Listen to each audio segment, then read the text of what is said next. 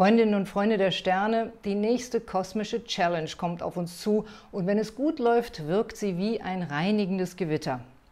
Wenn ich mir diese Konstellation so anschaue, dann denke ich an das schöne Mantra, willst du Recht haben oder willst du glücklich sein?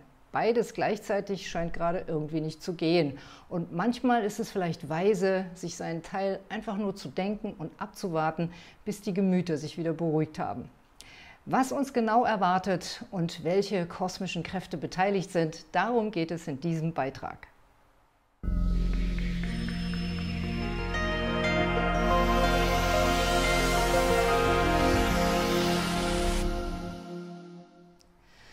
Hui, das wird eine prallvolle Woche mit hoher kosmischer Energiefrequenz, aber nicht einfach zu handeln.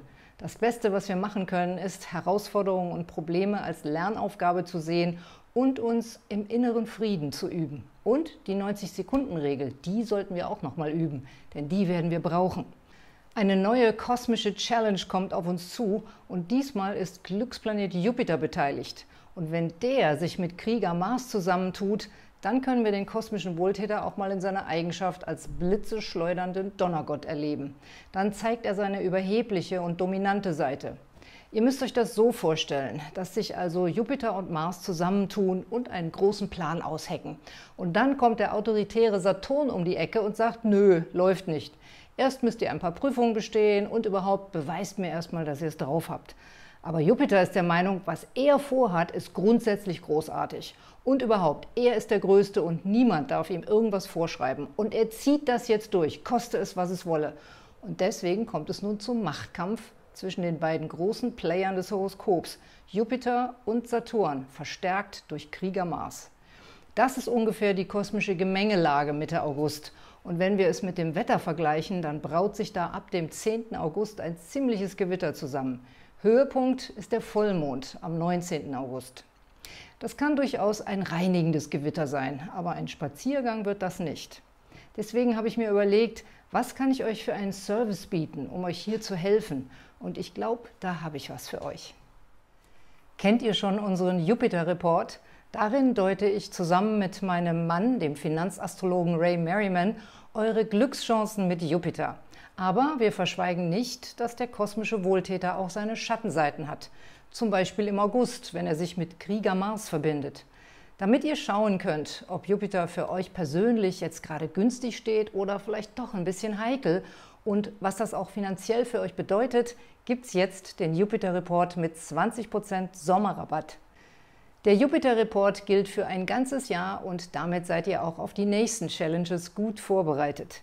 Mehr Infos und den Link zum Bestellen findet ihr hier auf der Infokarte und in der Videobeschreibung bzw. den Show Notes. Seit einigen Tagen schon baut sich eine besondere kosmische Energie auf, denn Powerplanet Mars trifft auf den großen Jupiter und das im intellektuellen Zeichen Zwillinge. Dazu kommt, dass Merkur nun auch am 15. August wieder zurück in den Löwen läuft, wo er gerne große Reden schwingt. Das erzeugt eine starke mentale Energie, das heißt große Ideen und hochfliegende Pläne liegen in der Luft. Vielleicht geht es auch wieder um die Suche nach der Wahrheit oder wir sind kurz vor Abschluss eines spannenden Projekts. Letzte Woche ging das noch schwungvoll los, aber nun gerät auf einmal vieles ins Stocken. Irgendwie geht es nicht mehr vorwärts und dafür gibt es einen Grund. Wir haben eine Saturnblockade. Der Prüfungsplanet stellt sich quer und stoppt den mentalen Höhenflug und das bedeutet, Hindernisse tun sich auf, Vorgesetzte lehnen unsere Ideen ab, Transportmittel funktionieren nicht, die Technik versagt, es wird sich darum gestritten, wer Recht hat und was wahr ist. Und wenn wir leichtsinnig Risiken eingehen, auch sportliche, ist auch wieder die Verletzungsgefahr leider erhöht. In abgeschwächter Form hält diese Blockade sogar noch an bis zum 24. August, aber die ganz heiße Phase ist zwischen dem 12. und dem 20. August.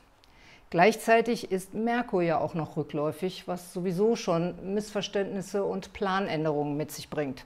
Also, wenn ihr jetzt Urlaub habt, rechnet mit chaotischen Phasen, sei es durch Staus, Flugausfälle, Verspätungen, Probleme mit dem Hotel oder einfach, dass man sich verfährt, verpasst, missversteht. Auch finanziell ist das eine schwierige Woche. Da würde ich von größeren Transaktionen abraten. Aber ich verrate euch jetzt schon mal, dass wir Ende August noch mal einen tollen Aspekt für überraschende Finanzgewinne haben. Falls ihr euch da schlau machen wollt, abonniert doch den kostenlosen Finanznewsletter von Ray Merriman. Der erscheint einmal pro Woche und er wird da garantiert auf diese Konstellationen eingehen. Verlinke ich euch unten in der Videobeschreibung unter wichtige Links. Meine Tipps für diese Woche lauten, umgebt euch mit Menschen, mit denen ihr euch gut versteht und wo alle mit anpacken, wenn es Schwierigkeiten gibt. Nehmt schräge Situationen mit Humor und nicht persönlich. Seid nachsichtig, besonders gegenüber den Zeichen Zwillinge, Jungfrau, Schütze und Fische, denn bei denen steht die neue Mars Challenge mitten im Zeichen. Bedenkt, dass einfach widrige Umstände auftreten können, vielleicht auch durch Wetterkapriolen und keiner kann so richtig was dafür. Schuldzuweisungen würden jetzt alles nur noch schlimmer machen. Jetzt müssen wir ins Vertrauen gehen und zusammenhalten. Und schließlich und endlich macht euch nochmal mit der 90-Sekunden-Regel vertraut. Sie kann euch jetzt wirklich gute Dienste leisten. Damit kommt ihr wieder in eure innere Mitte, wenn es brenzlig wird oder ihr sehr aufgebracht seid. Anschließend könnt ihr die Situation mit mehr Ruhe und Klarheit in den Griff bekommen. Ich habe dazu auch ein Video gemacht, das verlinke ich euch in der Videobeschreibung. Schaut doch da mal rein.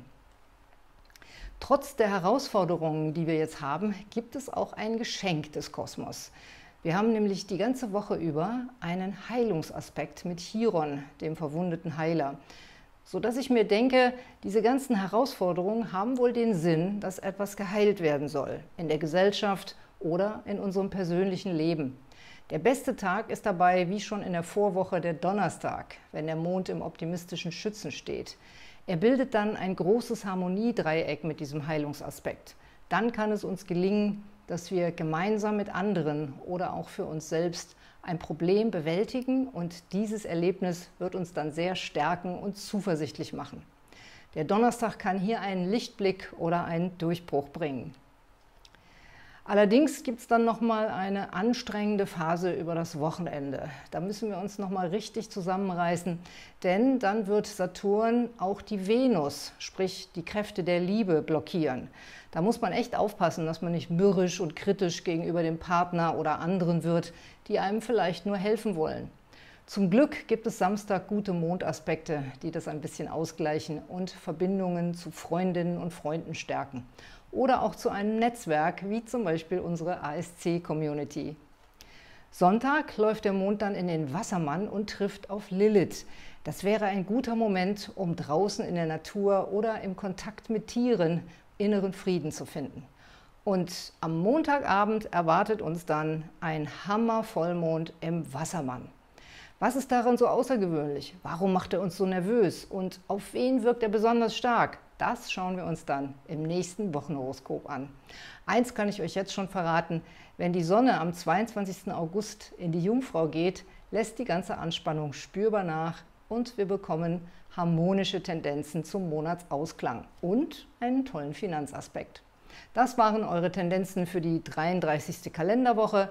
Wie die Konstellationen auf euer Sternzeichen und euren Aszendenten wirken, das könnt ihr jederzeit im großen Monatshoroskop für den August nachschauen. Gibt es auch als Podcast. Ich wünsche euch alles Gute mit den Sternen.